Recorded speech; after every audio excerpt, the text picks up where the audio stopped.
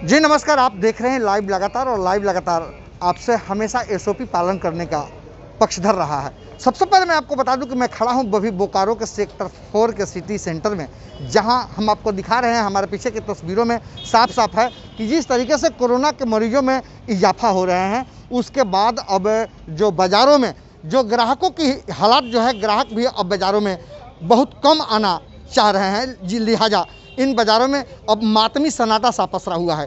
अब हम सबसे पहले आपको बता दें कि यही वो, वो सिटी सेंटर है जो बोकारो का हट माना जा रहा है माना जाता रहा है। और बोकारो का हट में यहाँ खरीदारों और दुकानदारों की एक लंबी कतारें लगती थी। लेकिन शायद अब जिस तरीके से बोकारो में कोरोना के मौजू- म- कोरोना मरीजों में, जिस तरह से उसके संख्या में जो बढ़ोतरी हो रही है, निश्चित तौर पर लोग इससे सशंकित और आतंकित भी हैं। तो सबसे पहले मैं आपको बता दूँ कि जिस तरीके से हम इधर की भी तस्वीर आपको आपसे दिखाना चाहेंगे कि देखिए जिस तरीके से यहाँ बाज़ारों में ग्राहक नहीं है, और इसका व्यवसाय पर, कोरोना का व्यवसाय पर इसका बहुत ही प्रतिकूल असर भी देखने को मिल रहा है, जिसके कारण लिहाजा यहाँ के व्यापारी जो हैं, व्यापारी काफ़ी अब परेशान भी हैं।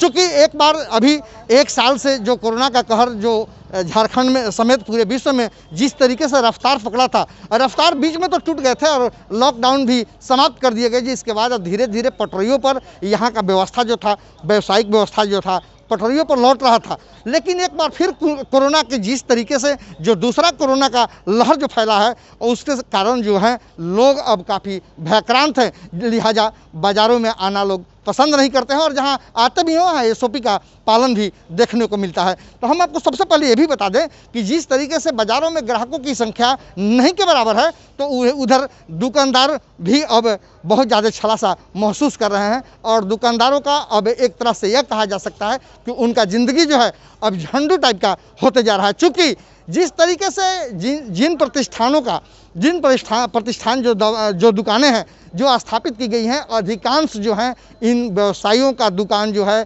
किराए पर थे। लेकिन एक साल से जो किराया नहीं दिया था, और अब धीरे धीरे व्यवसाय उसके पटरी पर लौटने के आसार उसको नज़र आ रहे थे। लेकिन जिस तरीके से कोरोना की संख्या में जो निरंतर वृद्धि हो रही है, यह बेशक यह कहा जा सकता है कि व्यवसायियों को एक बार फिर तोड़ मरोड़ कर झकझोर दिया है। लिहाजा अब इसका कोरोना का असर जो है व्यवसाय पर भी पड़ने लगा है, जो स्पष्ट इन तस्वीरों में भी आप देख सकते हैं कि जिस तरीके से अब जो है, हम आप निवेदन आपसे अनुरोध करेंगे कैमरामैन से कि आप चारों तरफ़ की एक बार तस्वीर दिखा दें।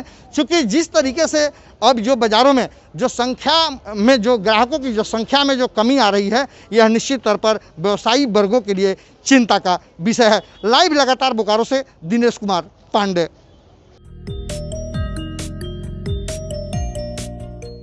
न्यूज़ अपडेट के लिए आप हमारे चैनल को सब्सक्राइब करें। आप हमें फेसबुक और इंस्टाग्राम पर भी फॉलो कर सकते हैं। बने रहे लगातार डॉट इन के साथ।